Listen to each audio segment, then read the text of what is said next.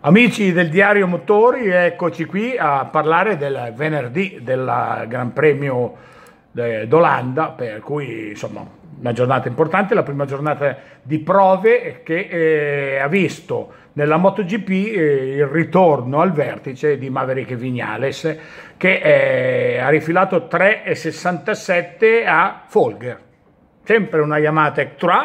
Insomma, ad Assen c'è grip e le Yamaha vanno forte, anche quelle del 2017. Sia Vignales che Rossi hanno, senza dire poi troppo, però provato, confrontato il telaio 2017 col 2017.1, diciamo quello evoluto che è stato provato nel, giorni, eh, nel giorno dopo eh, Barcellona, quel disastro di Barcellona. Insomma, comunque eh, Folger questa volta è andato più forte di Zarco, eh, ha, preso però appunto un po' di paga, terzo Mark Marquez a 662, quindi un bel una bella paga anche per lui, da Vignales che sembra essere tornato quello delle prime due gare di tutta la stagione invernale, ma va, vedremo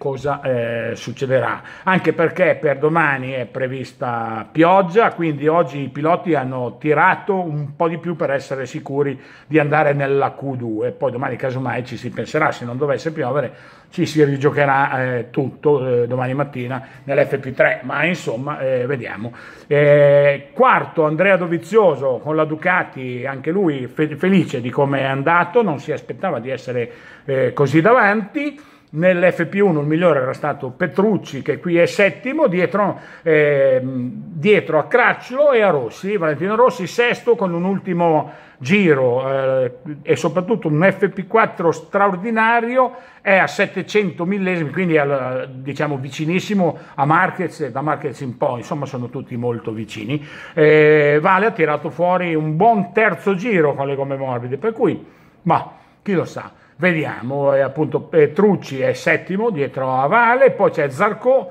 Bautista e decimo Dani Pedrosa. Questi sono quelli per ora nell'F, eh, nelle Q2, insomma. Quindi eh, fuori ci sono Miller, Spargarò e Jorge Lorenzo, quattordicesimo che non si è ancora trovato benissimo. Si vedeva, non guidava con la scioltezza e la naturalezza di Dovizioso, eh, po' insomma qualche difficoltà, ma è, è ovvio che eh, insomma, stia ancora eh, così apprendendo, sia ancora in fase di apprendimento. Jorge Lorenzo con la Ducati, ci saranno piste, momenti in cui andrà meglio, poi vediamo, c'è ancora tutto domani sperando che non piova e soprattutto domenica sperando che sia bello. Poi c'è anche il diciassettesimo Iannone, oppure una caduta, insomma anche la Suzuki non si capisce, non, non, riesce ad andare abbastanza bene, Rins è diciannovesimo, non gli dà fastidio la mano, eh, però sta rientrando ed è comunque un rookie che arriva dalla Moto 2, quindi eh, tutta la Suzuki sulle spalle di Iannone non sta facendo per il momento eh, benissimo, speriamo che possa eh, migliorare lavorando pian piano. Insomma, eh, cosa dire? Cioè, eh, quella, la cosa principale è il ritorno di Vignales che dice io dopo Barcellona ho lavorato, sono stato da solo a casa, ho lavorato su me stesso che col mio eh, preparatore che lo deve aver un po' aiutato anche mentalmente perché era molto depresso, scoraggiato, perché non capiva cosa fosse successo a Barcellona e adesso è di nuovo lì. Forse magari non lo capisci neanche stavolta, però tanto è davanti e eh, vediamo se però queste modifiche riusciranno a portare anche Rossi più vicino ai primi, cosa che potrebbe essere perché sesto alla fine del venerdì non è poi un risultato così male per Valentino. E passiamo alla Moto 2 dove c'è stato un altro ritorno quello di Franco Morbidelli che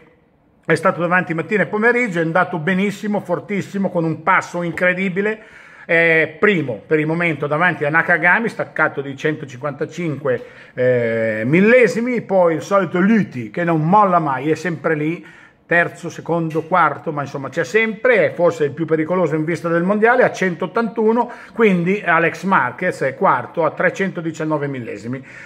Nono Baldassarri, dodicesimo Mattia Pasini, è il sorprendente Pasini di questa fase del campionato, quattordicesimo Corsi, sedicesimo Bagnaia che ha rinnovato anche per l'anno prossimo il suo impegno con lo Sky VR46 eh, team, per cui eh, lo vedremo ancora con la stessa divisa l'anno prossimo in Moto 2, giusto che si dia continuità, perché non è che uno arriva dalla Moto 3 alla prima stagione, già ha fatto due podi, ma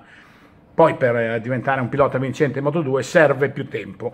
Moto 3, davanti Martin,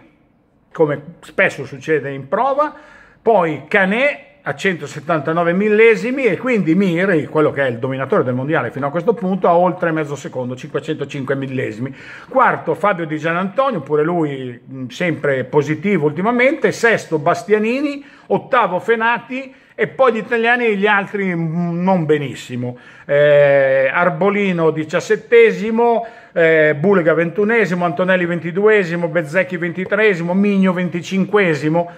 Beh, speriamo che domani non piova, comunque che in gara eh, riescano a trovare il modo di essere un po' più lì davanti, anche se ormai per vincere il mondiale diciamo che possiamo, dobbiamo puntare tutto su eh, Romano Fenati, perché gli altri sono un po' troppo staccati. C'è da sottolineare che Tatsuki Suzuki ha firmato pure lui il eh, contratto col team eh, SIC 58 Squadra Corse per continuare pure l'anno prossimo. Paolo Simoncelli non lo vuole mollare, lo trova simpatico, veloce, eh, forte, quindi eh, si era tenuto. A Suzuki sta bene vivere a Rimini e stare con questa squadra, quindi eh, bocca al lupo anche a loro, come a Bagnaia che ha rinnovato, e così come ha firmato, sembra per tre anni, anche Alex Marquez, però con un anno o due eh, ancora in Moto 2, come sembra che sia d'accordo Morbidelli per passare l'anno prossimo in MotoGP, sempre con Mark VDS, insomma da Assene, come sempre, comincia a muoversi anche il motomercato.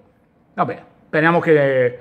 non ci siano delle menate tipo Donnarumma. Ecco, no, scherzo. Ciao, a domani, domani qualifiche. Ciao ciao.